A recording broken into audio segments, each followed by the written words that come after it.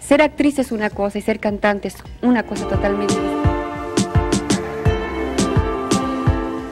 Hola, soy tu amiga Carla y en esta ocasión en Telenoveleando te presentaremos la telenovela Mundos Opuestos con Lucía Méndez y Ernesto Alonso. Mundos Opuestos es una telenovela mexicana producida por Ernesto Alonso para Televisa en 1976, protagonizada por Lucía Méndez y en su primer estelar Ernesto Alonso, Rita Macedo y con el debut de Laura León y Sergio Goyri. El multimillonario Claudio de la Mora es padre de Mario, joven rebelde que no le quiere, es traficante de armas y que forma parte de la mafia denominada la organización, que utiliza para sus negocios fuera de la ley y los barcos de la empresa de su padre, quien transporta gas desde el Oriente Medio en cierto momento y por causas ignoradas, los miembros de la organización le informan a Claudio que su hijo murió y le mandan grabaciones con la voz del mismo anteriores a su supuesto deceso. A la par, su hija Mónica estudia en una prestigiosa universidad, pero también en rebeldía con su padre se compromete con los pobres e inclusive va a estudiar a la universidad en autobús. En estas circunstancias llega a un barrio humilde donde conoce a Beba, Antonia y Cecilia, a quienes lleva de visita a su imponente mansión. En estas condiciones es que Claudio conoce y se enamora de Cecilia, quien es la bella hija de Antonia, una humilde cocinera. ¿Quieres saber todo lo que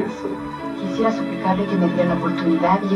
Él con paciencia y ternura le enseña y educa hasta lograr elevarla a su mismo nivel social con el propósito de así lograr desposarla. Mario es desembarcado de la mafia y se salva de un secuestro efectuado por el jefe de la organización que se denomina Cóndor, por lo cual fortuitamente regresa a la casa paterna y se convierte en su rival por el amor de Cecilia para finalmente ganarlo y ser él quien se case con ella. Al final, el teniente Larios descubre que René, secretario de Claudio, y su ama de llaves Carlota estaban implicados en la organización, siendo ambos arrestados. Este melodrama presenta el enfrentamiento entre el mundo de los ricos y el de la clase baja, es decir, los mundos opuestos. Si quieres conocer el desenlace de esta historia, te invitamos a que veas esta telenovela. Es que le dije una mentira.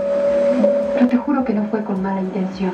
Si fue de tu agrado este video, dale me gusta, compártelo en tus redes sociales y no olvides suscribirte a este canal. Yo soy Carla y nos vemos en la siguiente telenovela.